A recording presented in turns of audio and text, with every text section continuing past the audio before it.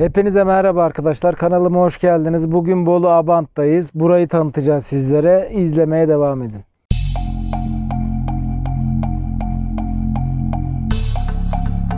Bu gördüğünüz manzara Bolu Abant Gölü'nden. Abant Gölü yer altında meydana gelen tektonik çöküntüler sonucunda büyük taş bloklarının vadiyi doldurmasıyla oluşmuştur. Deniz seviyesinden yüksekliği 1328 metre, yüzey genişliği 1.25 kilometre küp, maksimum 18 metre derinliktedir. Tektonik kökenli göl Kuzey Anadolu fay hattında bulunmaktadır. Abant Gölü'nü dağlardan gelen kar suları ve bir iki küçük dere beslemektedir.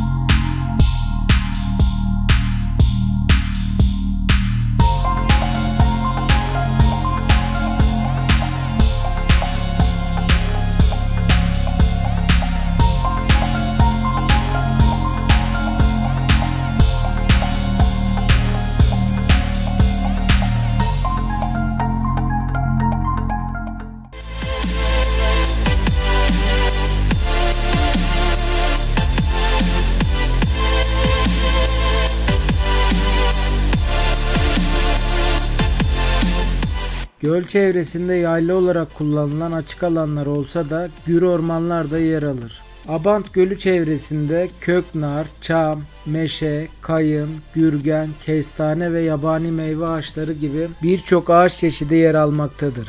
Abant Gölü ve çevresi 9 Haziran 2022'de Milli Park olarak belirlenmiştir. Abant Gölü Milli Parkı Türkiye'nin 48. Milli Parkı olmuştur. Göl ve çevredeki 1196 hektarlık alan tabiat parkı olarak işletilmektedir. Abant Gölü çevresinde sıralanan dağların zirveleri tabiat parkının sınırlarını oluşturmaktadır. Tabiat parkının en yüksek noktası 1794 metre. Erenler Tepesi iken en düşük noktası 1328 metre ile Abant Gölü seviyesidir. Göl çevresinde Python'la gezi yapanları da görmeniz mümkündür.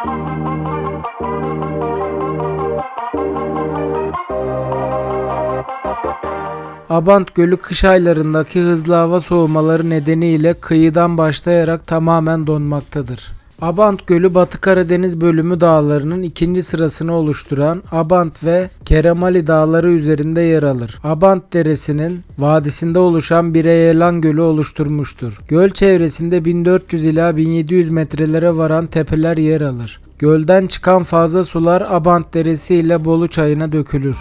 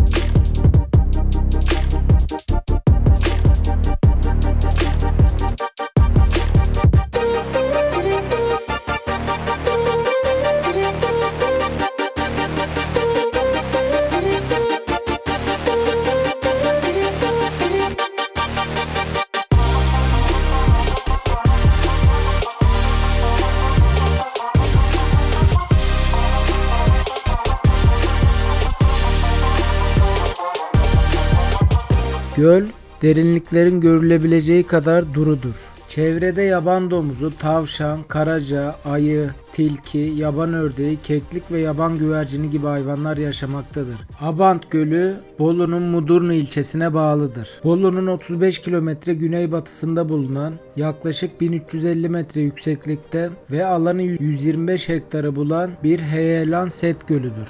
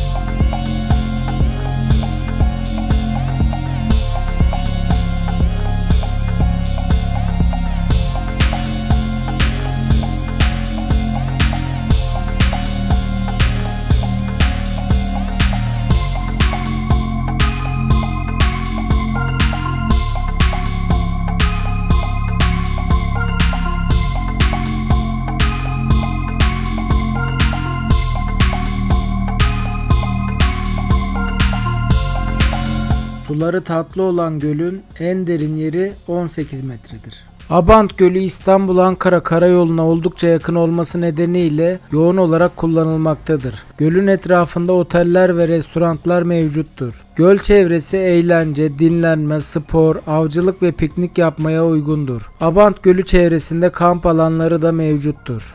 Gölü çevreleyen asfalt yol gezinti amacıyla kullanılır. 4 adet günübirlik piknik alanı yer almaktadır. Samat Yaylası yakınlarında günde 330 çadırın kullanılabileceği kamp alanı bulunmaktadır. Çevredeki alıç, börtlen, kuşburnu, çilek, mantar ve dağ çilekleri gibi bitkilerden yararlanılır. Göl çevresinde alabalık ve geyik üretim istasyonları yer alır. Alabalık yavruları göle bırakılır. Geyikler yetiştikten sonra doğaya bırakılır.